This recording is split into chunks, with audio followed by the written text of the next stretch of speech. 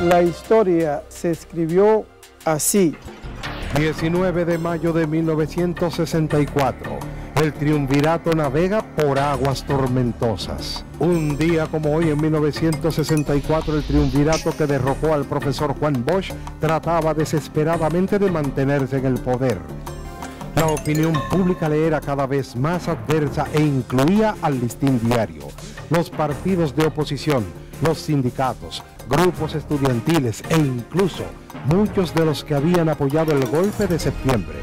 Pero aprovechando un momento de calma, el presidente del triunvirato pudo lanzar una primera bola en un juego de pelota, un día como hoy. Eso sucedió hace ya mucho tiempo. Pero para que no se olvide, lo recordamos un día como hoy, porque la historia se escribió así.